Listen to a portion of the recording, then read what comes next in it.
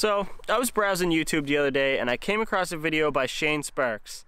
The dude was doing every no comply variation that you can imagine. It was super impressive. So I'm going to put a link in the description so you can watch that. But anyways, it gave me the idea to see what no comply variations I can do. It's not going to be as good as what he can do, but let's see.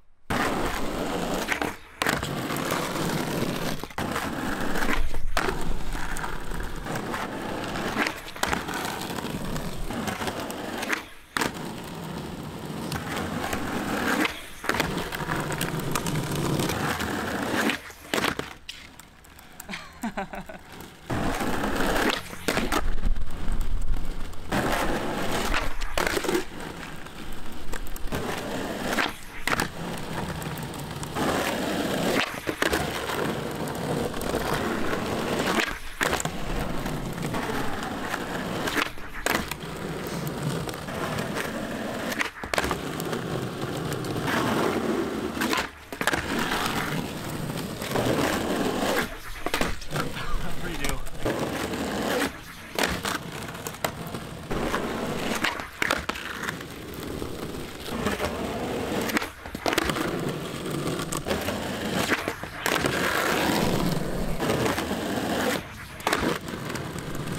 Okay, I'm gonna end the video there.